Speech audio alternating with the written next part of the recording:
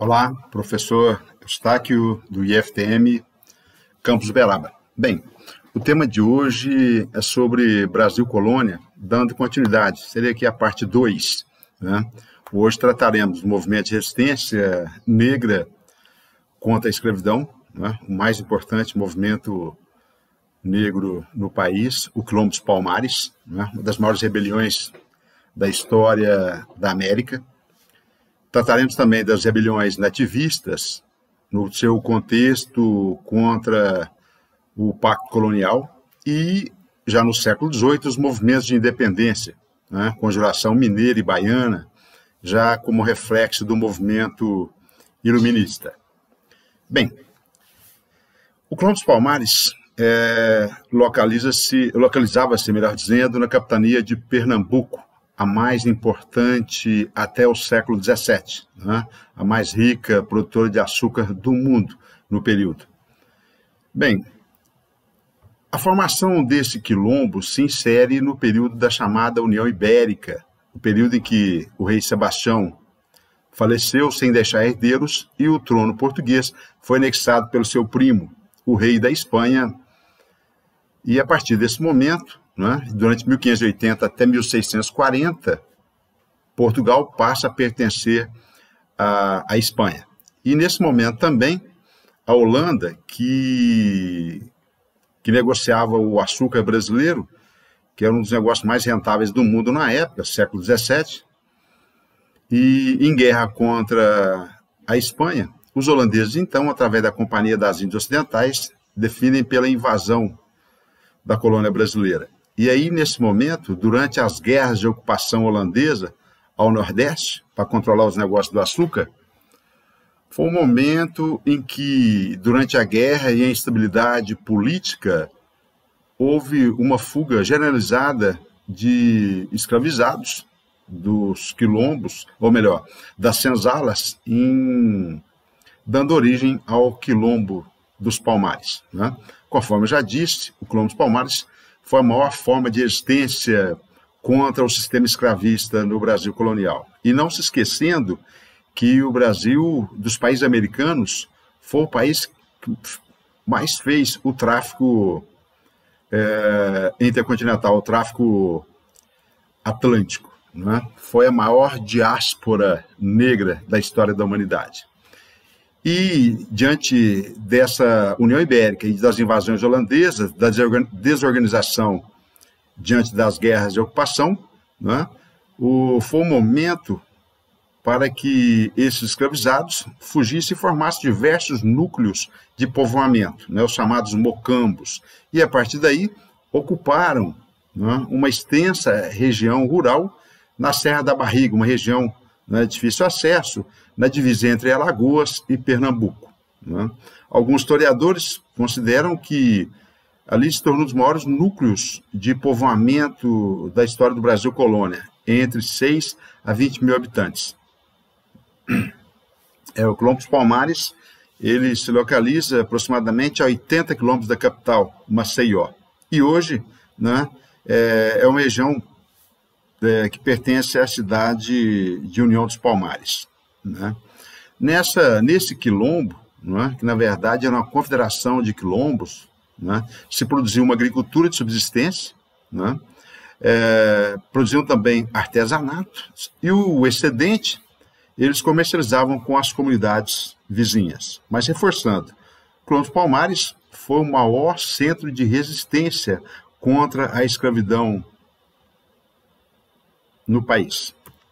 Bem, em 2007, o, o Quilombo dos Palmares tornou-se é, um parque nacional, Quilombo dos Palmares, e foi reconhecido internacionalmente. Né? E graças a reconhecimento internacional, o, hoje se tornou um centro de visitação cultural. E, e isso né, é importante dizer que visibiliza é, o movimento de resistência contra a escravidão no país. Né? Segundo o Instituto de Patrimônio Histórico e Artístico Nacional. E, e com isso, né, diante do crescimento do racismo, da, da polarização ideológica que ocorre no país, né, é, esse reconhecimento internacional, além de estimular o, o turismo cultural para a região, né, é uma forma também de combater a discriminação racial e valorizar, por que não, o, o movimento e a cultura afro-brasileira.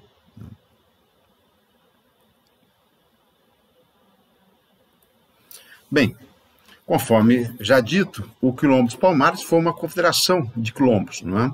onde se reunia é, escravizados fugitivos, é?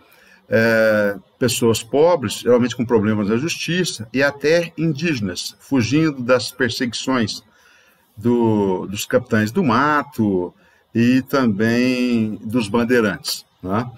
É, a forma de, de organização era governada por um rei né?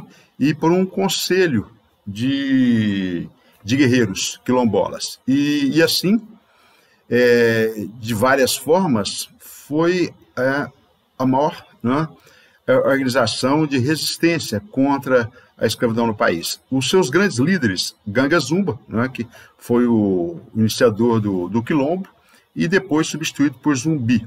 Né. É, durante a, a, ocupação holandesa, né, o, o quilombo cresceu, exatamente no sentido de que é, a ampliação da, da produção de açúcar no Brasil né, é, gerou a necessidade de ampliar a mão de obra, né? e assim aumentou-se o tráfico negreiro e, em contrapartida também, né? aumentou a fuga. É, e diante disso, o quilombo cresceu, se tornando das maiores comunidades na, do Brasil colônia. E diante da forte resistência do, dos quilombolas, né? diante da, da, da negação da, da escravidão, né? os senhores de engenho através das comunidades é, metropolitanas, fizeram um acordo, um tratado de paz com o líder do quilombo, o Gangazumba, estabelecendo que eles não atacariam mais o, a comunidade quilombola de Palmares, mas, em contrapartida, os palmarinos deve, não, não invadiriam mais as fazendas, né?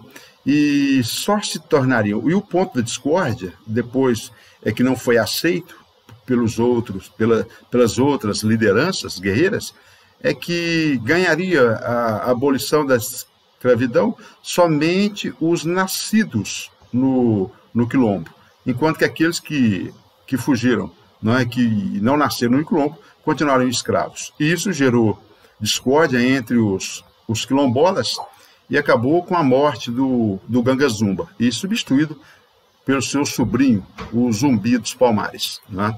Na imagem aqui, né? o, o dia do, da consciência negra, né? é uma homenagem ao Zumbi, na imagem, e ao lado aqui dele a sua companheira, a Dandara, né? uma líder guerreira também do Quilombo. Bem, Vamos agora falar sobre a Guerra dos Palmares, de 1644 a 1695. Essa Guerra dos Palmares, meio século, é? ela transcende a ocupação holandesa, é? ela e vai durar meio século. É? E, e ela só, é? e ela começa, exatamente se você observar, ela começa após a União Ibérica, né? quando, quando Portugal retoma a sua autonomia, retoma a sua independência, passa a, se separar de, de, da Espanha, e aí busca reorganizar a ocupação, centraliza mais o poder e busca né, não só expulsar os, os holandeses, mas também retomar o controle e a ocupação do seu território. E, por que não dizer também, é, ampliar a produção de açúcar. Bem, assim, não se esqueçam que eles foram atacados né, pelos, pelas autoridades metropolitanas, pelos próprios produtores de açúcar, os senhores de engenho, pelos holandeses e principalmente pelos bandeirantes paulistas, é, que eram contratados, né, chamados sertanejos de contrato, para exterminar é, e capturar esses escravos é, aquilombados. Né? Bem, e nesse momento, o, o bandeirante Domingos Jorge Velho, na imagem à direita, foi contratado né, pelas comunidades uh, metropolitanas para exterminar, né, para destruir o quilombo. E, enfim, por ordem na sociedade colonial, escravista. E, e assim, é, diante de uma longa resistência, conforme disse, de meio século, o, o quilombo né, foi atacado né, numa verdadeira guerra, das maiores guerras do Brasil colônia. O zumbi foi capturado e morto, e, e o, as comunidades restantes né, foram severamente punidas. Inclusive, é, uma tradição da época, o zumbi foi capturado, né, é, executado e teve sua a cabeça arrancada e exposta na, na capital, Recife. Né? Bem, e não se esqueçam que esse não foi o único quilombo que existiu no país. Diversos quilombos se espalharam, diversas comunidades quilombolas se espalharam pelo Brasil. Né? E, e o dia, né, 20 de novembro, né, isso uma grande, depois de uma grande luta do movimento negro, o dia foi reconhecido né, e feriado em várias cidades do país como é um feriado do Dia da Consciência Negra, mas não tem muito se comemorar, segundo o movimento negro, né? porque não é um movimento de comemoração, mas de reflexão né? diante da desigualdade socioeconômica e diante da continuidade do racismo e da exclusão social no país. Né? Mas, enfim, é, lembrar desse dia como reflexão, como um dia de libertação do negro contra toda forma de opressão e racismo na história do país. Bem, agora vamos tratar dos movimentos e rebeliões nativistas coloniais do século XVII e início do século XVIII. Esses movimentos nativistas coloniais, eles não têm um caráter ainda de independência. Né? Eles querem apenas reformas no pacto colonial, Geralmente o motivo é por crise econômica e insatisfação contra a opressão metropolitana. Mas, enfim, eles não são ainda revolucionários, não são ainda de independência. Eles querem apenas reformas, não é? É, pactuais apenas, é, e sem uma influência ideológica externa, ou seja, não tem é, influência do iluminismo, não tem influência do movimento republicano e não eram separatistas. Tá? E geralmente a causa é o excesso de impostos e a exploração colonial. E, portanto, reforçando, esses movimentos nativistas, essas rebeliões, não tinham caráter separatista de independência. Na imagem aqui, é, a, a, revolta de Filipe dos Santos, né, um, um minerador, um rico proprietário de minas aqui em Minas Gerais, né, contra o, o excesso de impostos né, da, da coroa portuguesa.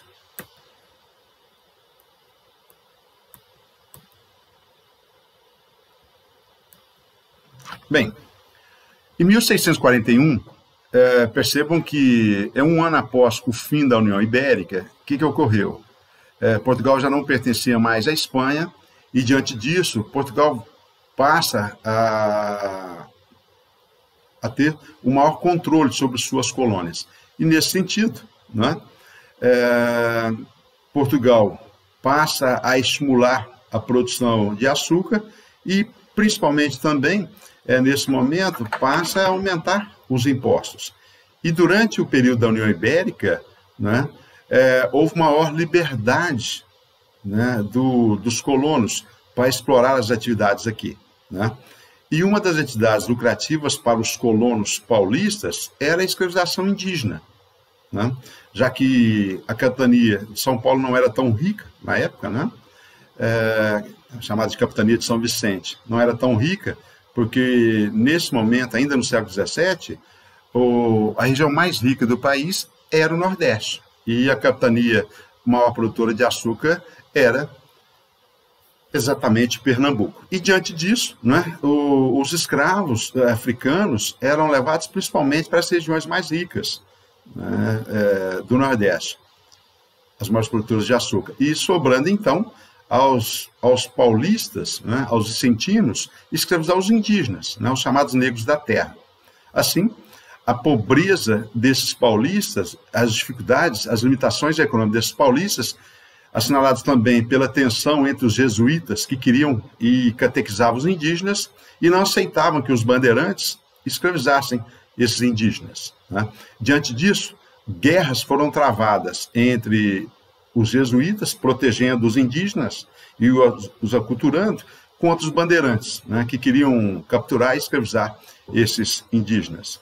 Assim, diante dessa situação, desse atrito com as autoridades né, jesuíticas, os bandeirantes, então, revoltados, aclamaram o Amador Bueno como governante. Né? E isso, claro, né? é, demonstrando que não aceitariam as determinações das autoridades metropolitanas e também não aceitariam a presença dos padres jesuítas em São Paulo. Né? Diante disso, há um episódio, eles expulsaram os jesuítas, os padres, né? e aclamaram Amador Bueno como novo governador, o novo rei de São Paulo. Percebendo a situação, né? é, a grave situação, o Amador Bueno, um rico proprietário de terras, ele não aceitou, temendo a repressão das autoridades metropolitanas. E diante da recusa né, do Amador Bueno, né, o movimento se dissipou né, e termina essa revolta em São Paulo.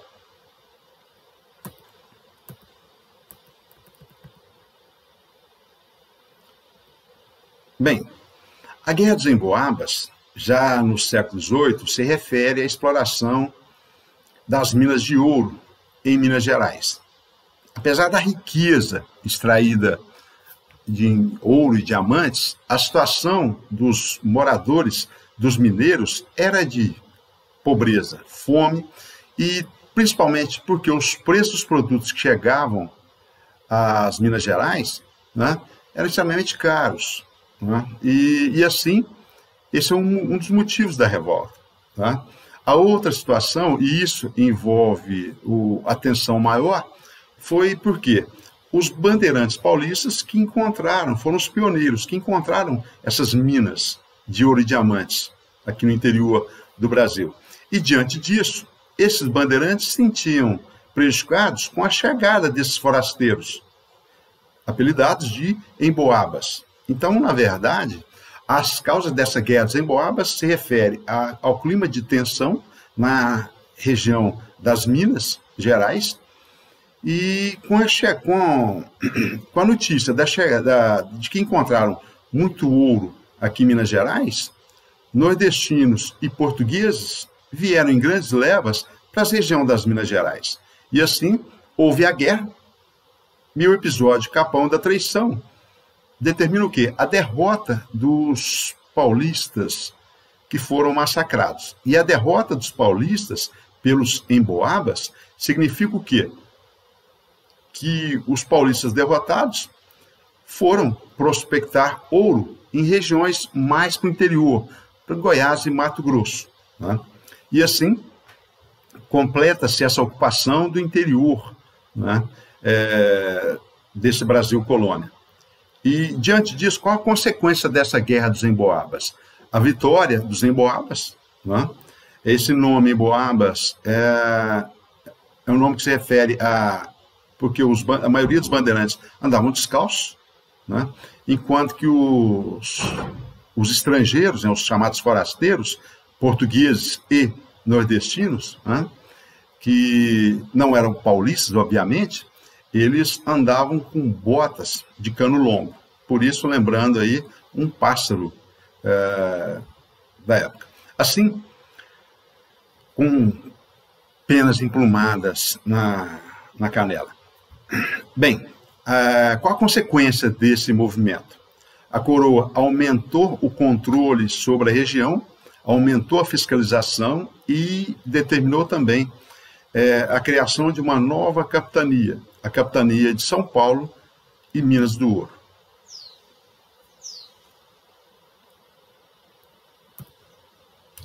Bem, outra revolta, também de cunho nativista, é a revolta de Beckman, lá no Maranhão, em 1684. As causas, o atrito entre os fazendeiros, né, que queriam eh, escravizar os indígenas, e os jesuítas, que protegiam esses indígenas. Né? Assim, o outro fator também é econômico. Vejam que é uma questão social, né? a disputa entre os fazendeiros que queriam escravizar os indígenas e os jesuítas que queriam catequizar esses indígenas e, obviamente, não aceitavam a escravidão dos nativos. Assim, também se refere à crise da produção algodoeira do, do Maranhão, que é, o algodão era o principal produto de exportação da economia maranhense. Assim, esses fazendeiros maranhenses se revoltaram contra a falta de escravos e se revoltaram também contra a presença dessa companhia de comércio do Maranhão, uma empresa metropolitana portuguesa que explorava, pagava baixos preços pelo algodão e também abasteciam de escravos africanos, mas os preços eram extremamente altos para a mão de obra e pagavam um preço extremamente baixo para o algodão, a produção local. Os líderes, os irmãos Manuel e Thomas Beckman, né, é, foram presos, condenados à forca. E diante da derrota dos irmãos Beckman, né, a coroa portuguesa estabeleceu né, que os jesuítas poderiam voltar ao Maranhão. Então percebam que essas revoltas nativistas, elas não têm um caráter de independência. Né? É, geralmente é por causa da falta de mão de obra, da, da rivalidade entre bandeirantes e, e jesuítas, ou os próprios fazendeiros contra os jesuítas. Mas, enfim, é, geralmente é contra a exploração e metropolitana e também o excesso de impostos da coroa portuguesa. Mas, enfim, não tem caráter separatista ou, ou ideológico, iluminista. Ainda não. Guerra dos Mascates, também conhecida como a Fronda dos Mazombos, ocorreu em Pernambuco em 1711. Bem, qual que é o contexto? No século XVIII, os holandeses já haviam sido expulsos né, uh, do, de Pernambuco. E com a expulsão dos holandeses, eles passam a produzir açúcar no Caribe, nas Antilhas, em suas colônias.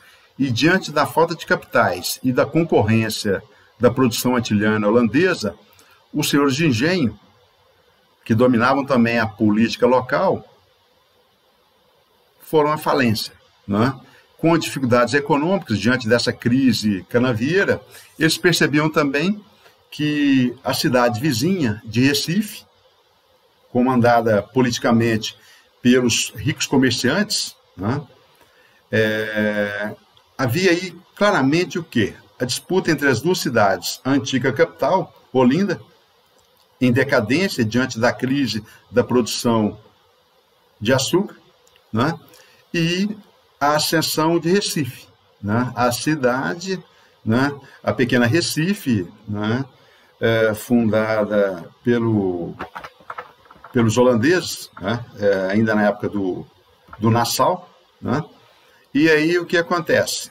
Endividados, esses senhores de engenho de Olinda não aceitaram é, a emancipação de Recife, que tornava-se uma cidade não é, emancipada, não pertencendo mais a, a Olinda. Então, percebe que é um problema econômico, né? Muitos desses senhores de engenho estavam se endividando com os comerciantes do Recife, né? e diante disso, né, com a emancipação de Recife, que torna-se agora uma cidade, né, e não pertencente mais à, à Olinda, que agora com uma Câmara Municipal, com a sede administrativa, as atuais prefeituras, enfim, Olinda não aceita, não reconhece a emancipação de Recife e há guerra. E nessa guerra, né, há a derrota de Olinda. A consequência disso é que Recife torna-se uma cidade muito mais próspera e, ao longo do tempo, Olinda entrou em decadência. Né? Hoje, Recife é uma das maiores cidades do país, né? a capital de Pernambuco, enquanto que Olinda é uma bela cidade histórica.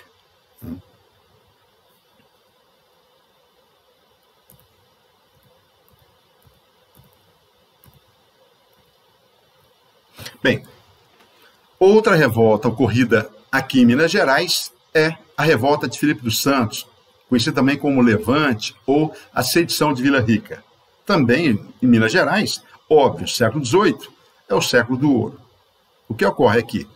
É uma revolta contra o aumento dos impostos cobrados pela coroa portuguesa. Né? Não se esqueçam que, a partir do século XVIII, o ouro vai ser o principal produto econômico é, extraído aqui do Brasil. E Minas Gerais era o maior produtor. E a capital de Minas Gerais, na época, era Vila Rica, atual Ouro Preto. Essa cidade, no século XVIII, era uma das cidades mais ricas e maiores e mais importantes das Américas. Bem, e o que aconteceu? Para conter o contrabando do ouro, a coroa portuguesa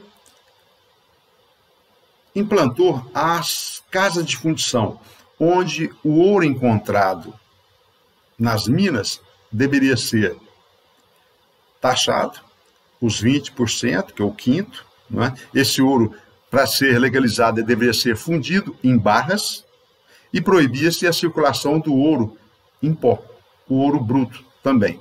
Diante disso, é, dessa, desse aumento do controle sobre a produção e o aumento dos impostos, o, o minerador Felipe dos Santos não aceitou. Então, a revolta é contra a instalação dessas casas de fundição e a proibição do ouro, da, do, da circulação desse ouro em pó.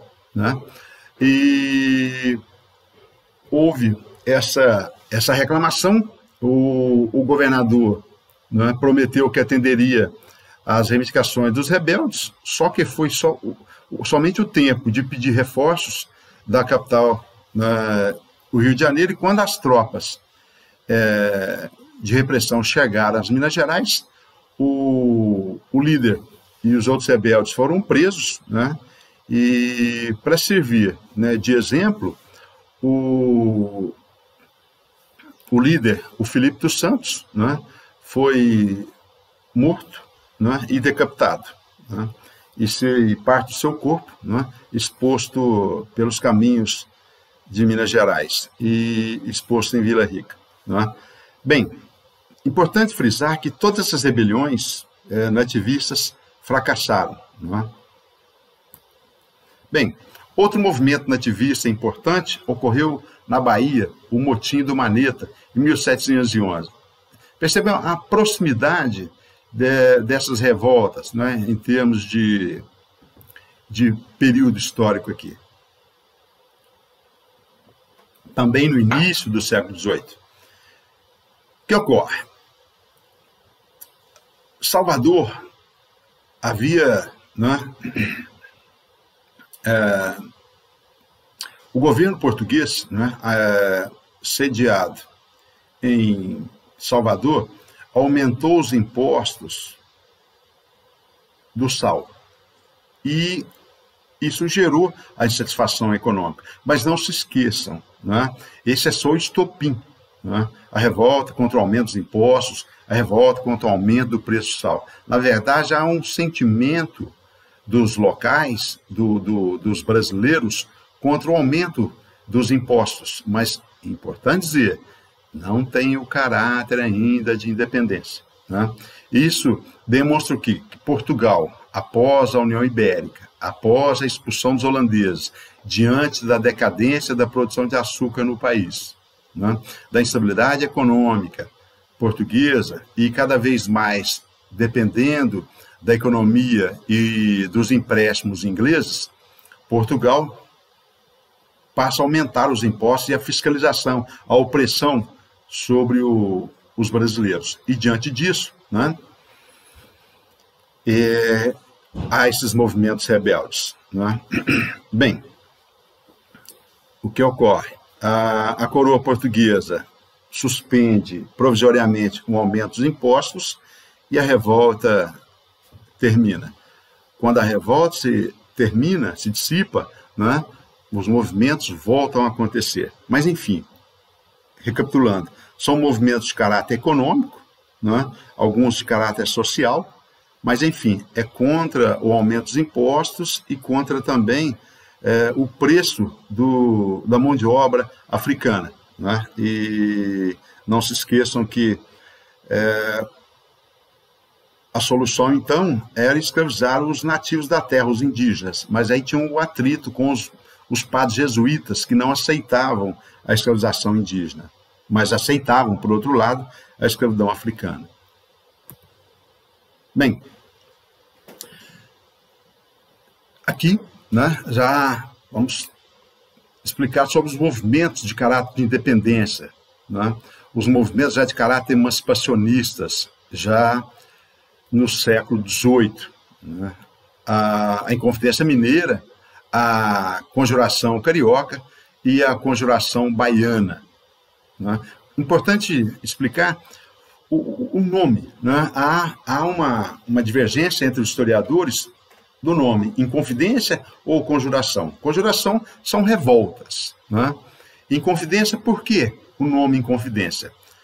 É, esse nome né, foi taxado né, de forma pejorativa pelas autoridades metropolitanas portuguesas. Né? Conjuração, revoltas, levantes, conspirações, enquanto que Inconfidência são movimentos né, de traição. Mas traição contra quem? Contra a coroa portuguesa. É?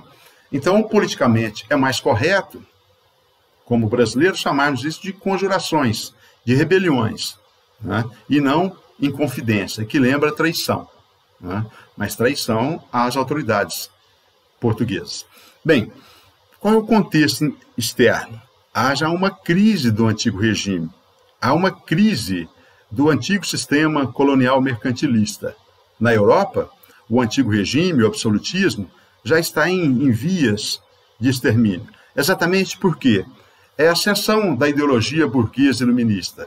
Os ideais de liberdade, igualdade, fraternidade tão caros para a burguesia é o colapso da sociedade estamental, é o colapso do pacto colonial, ao colapso da economia mercantilista, com os, todo o entrave né, do estatismo, metropolitano. E diante disso, esse ideal burguês iluminista já fala em quê? Em liberdade de comércio, em não ingerência do Estado na economia. Né?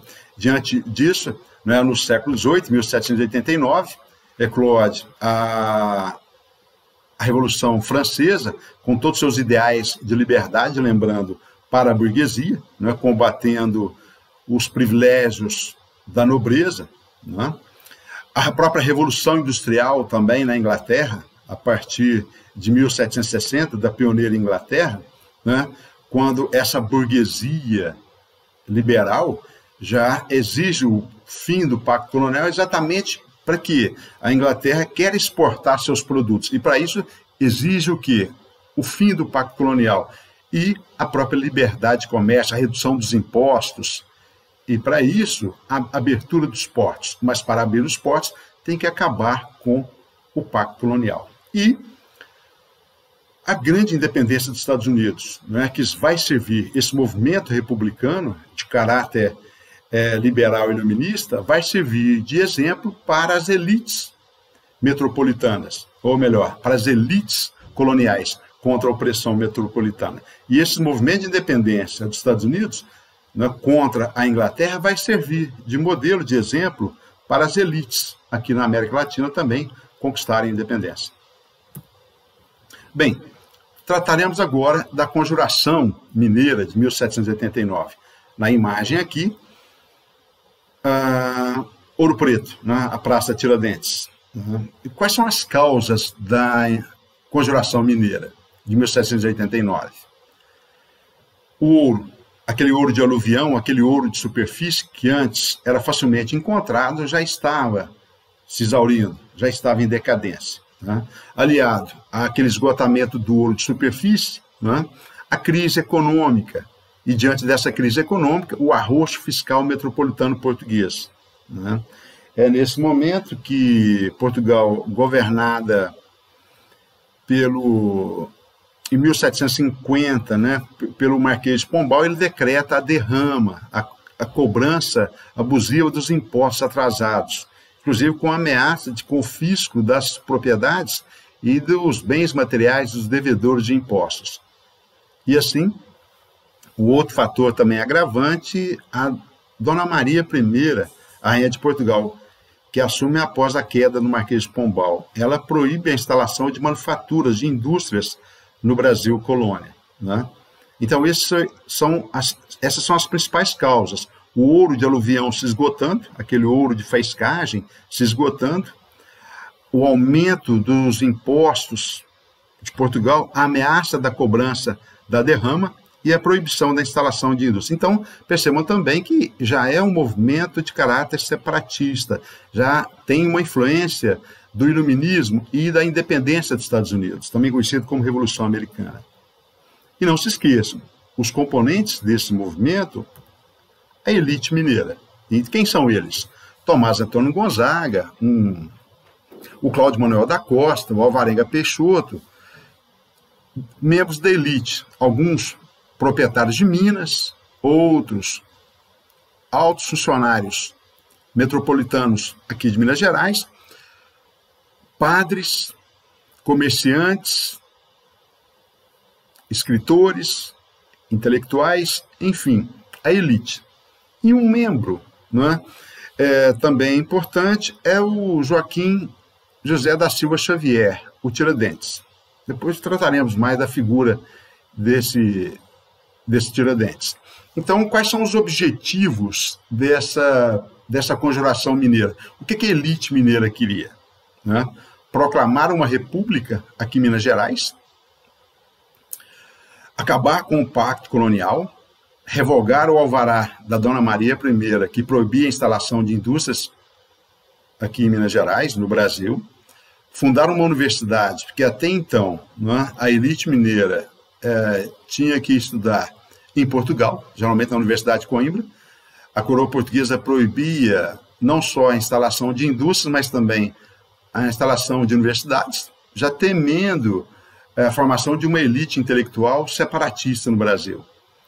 E é importante dizer que as obras iluministas, a própria enciclopédia, eram livros proibidos de leitura aqui no Brasil.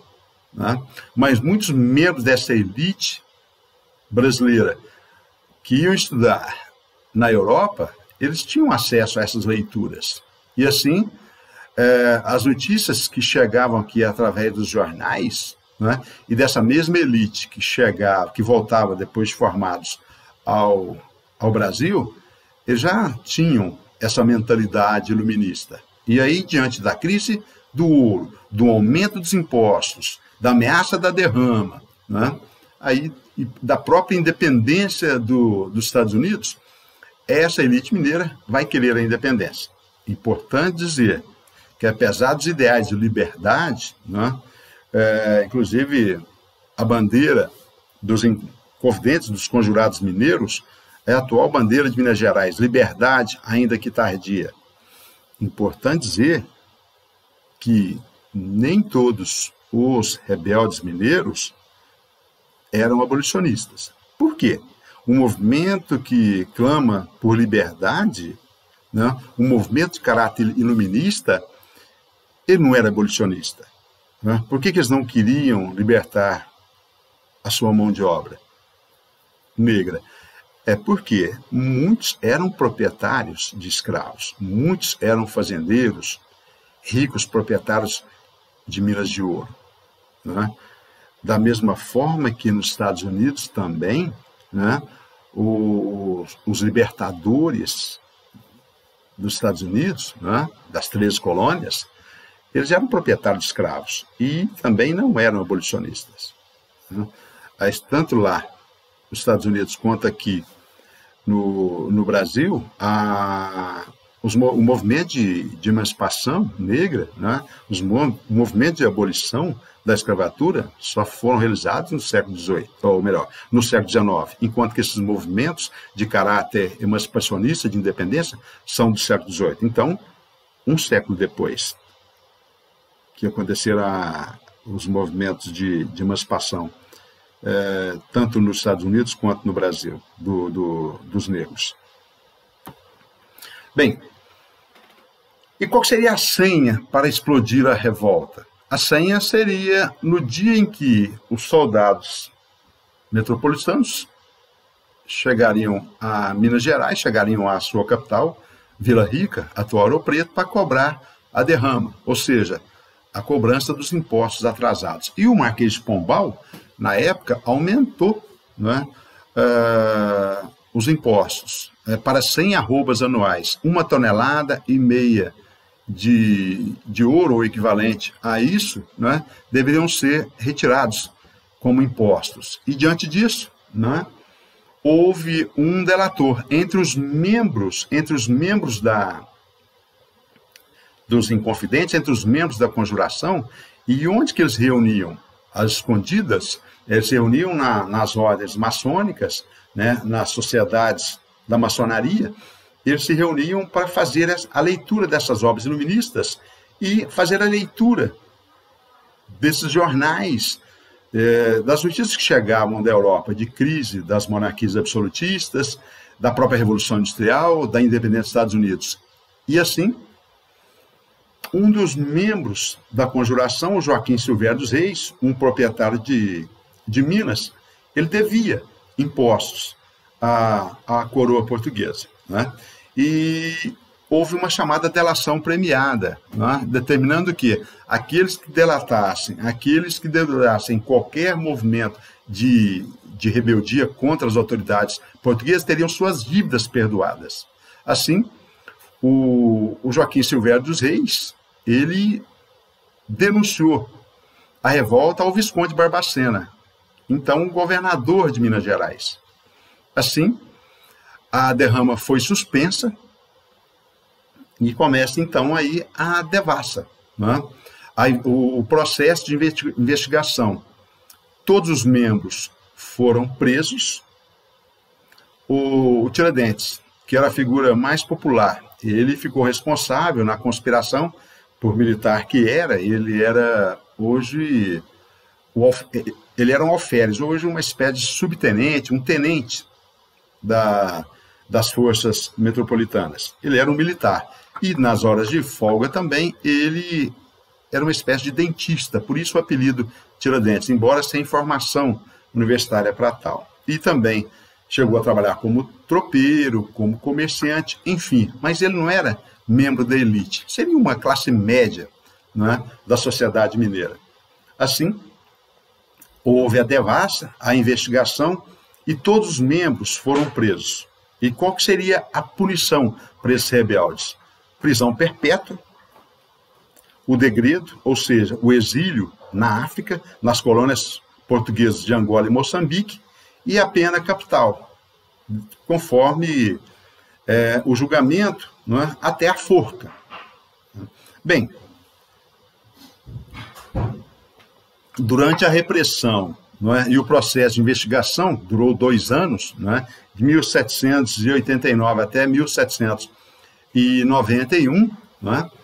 É, quem já está no comando já é a Dona Maria I, rainha de Portugal. É? É, durante o processo de investigação, a repressão foi violenta. É? E aí, o que ocorreu? A Dona Maria perdoou os membros da elite e Tiradentes foi condenado à forca e ao escortejamento. Em 1792, ele foi enforcado e não só enforcado, foi esquartejado. Né? Mas por que Tiradentes? Porque os outros membros da elite não sofreram a mesma punição.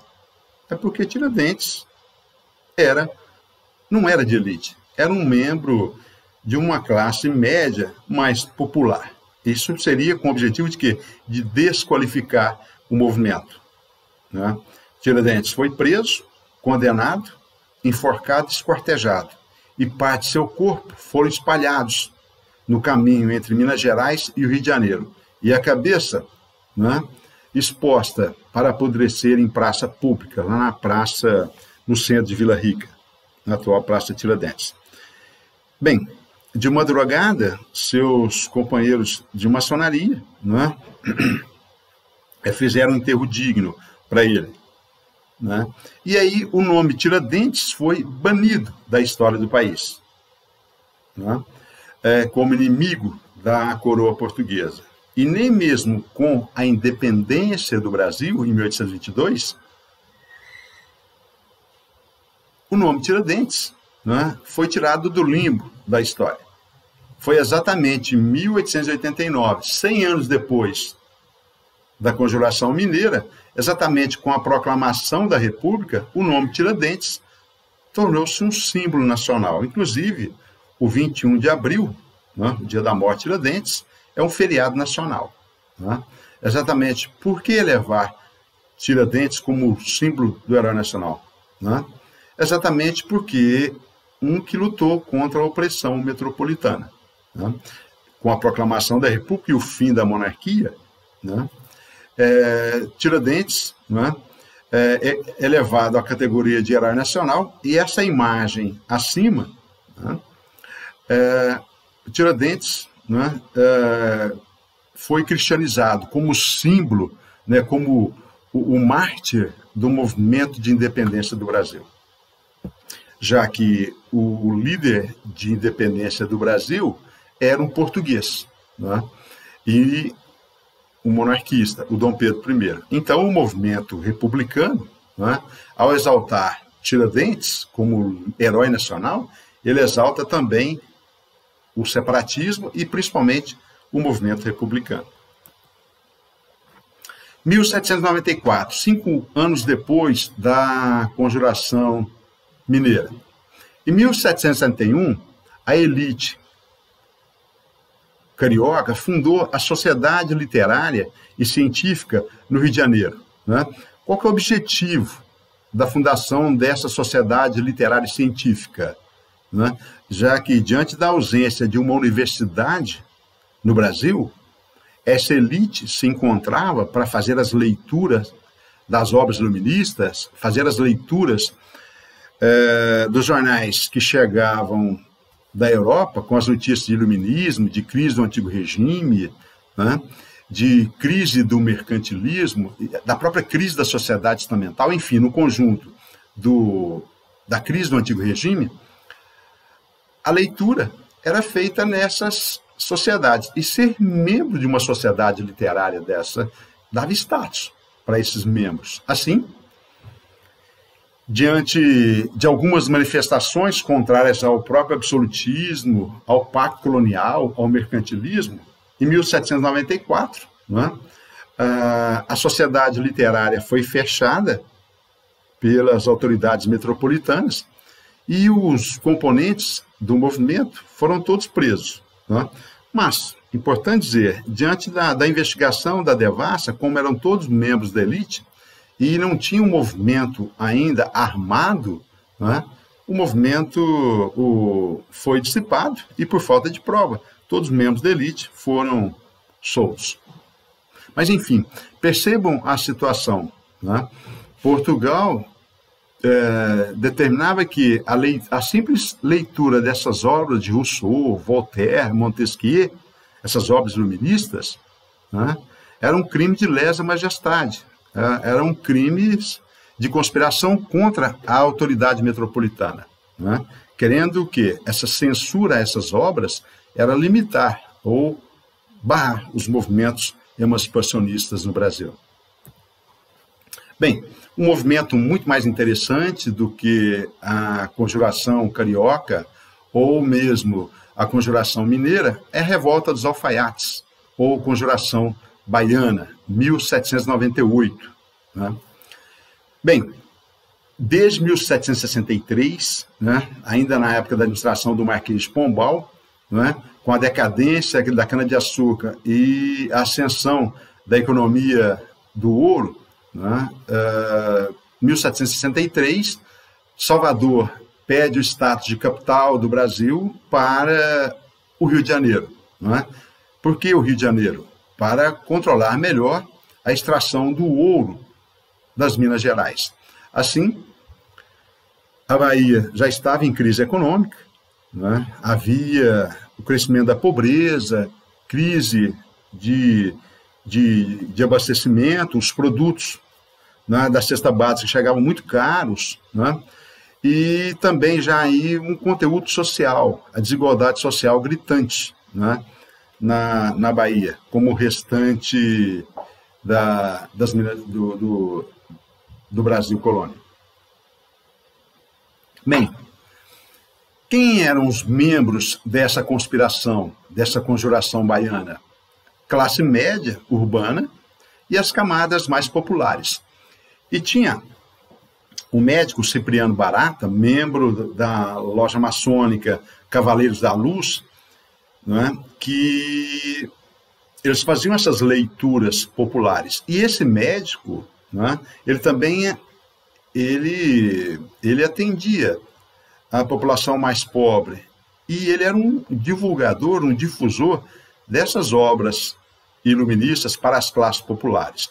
E diante disso, né, é, essa ordem né, maçônica, Cavaleiros da Luz, eles espalhavam né, atra através de panfletos é, é, e traduzindo para a população mais pobre, né, Uh, esses ideais iluministas, as leituras de Voltaire, do próprio Rousseau, criticando uh, o governo baiano e a própria uh, coroa portuguesa, que não resolviam os problemas da população mais pobre. Né? E assim, esse movimento, ele cresce nas classes populares, se difunde para as periferias de Salvador, e não se esqueçam, ele já tem a influência da Revolução Francesa em sua fase mais radical e popular, a fase jacobina do Robespierre, né? quando as classes populares né? é, alcançaram, se não o poder, mas as benesses, como o fim da escravidão nas colônias, acesso à educação pública gratuita para as classes populares, que até então eram só os membros da elite, né? o aumento do salário, e essa, e essa influência jacobina ela vai radicalizar o movimento baiano. Ao contrário da conjuração mineira, que tinha influência da independência dos Estados Unidos, e era um movimento de elite, a conjuração baiana, ao ter a influência do movimento jacobino, o um movimento popular, uma fase da Revolução Francesa, ele vai se radicalizar. Né? E não se esqueçam também, né? É, ao ganhar as, a, o apoio das classes populares, ao se espalhar pelas ruas da periferia de Salvador, o movimento vai se tornar mais perigoso para as elites metropolitanas né, e também para as elites coloniais. Bem, os objetivos, eles querem também a independência, é um movimento separatista e quer uma proclamação de uma república. Né? liberdade de comércio. Né? O, não se esqueçam que as obras do Adam Smith, de não interferência do, da, do Estado na economia, de fim do pacto colonial, de liberdade de comércio, já é muito forte né? é, no Brasil colônia. Então, a ideia é o quê? É abrir os portos para ampliar a, a, comercialização. Querem também a redução dos impostos, né? o, exigem também a diminuição dos preços dos gêneros alimentícios da cesta básica, e aí o mais agravante. Não é só um movimento político, mas é um movimento social que exige também maior igualdade entre as classes e a abolição da escravatura. E isso a elite não vai aceitar. Por quê? Abolir a escravidão é atirar contra os os próprios pés dessa elite, né? que não vai aceitar perder sua mão de obra. Então, o movimento se radicaliza porque não é só uma questão econômica, não é só uma, uma ideia de proclamar uma independência e proclamar uma república acabar com o pacto colonial. Já é um movimento que contesta a ordem escravista, a base da sociedade colonial brasileira. Bem, os líderes, não é? é João de Deus, Manuel Faustino, né? mulatos, alfaiates, né?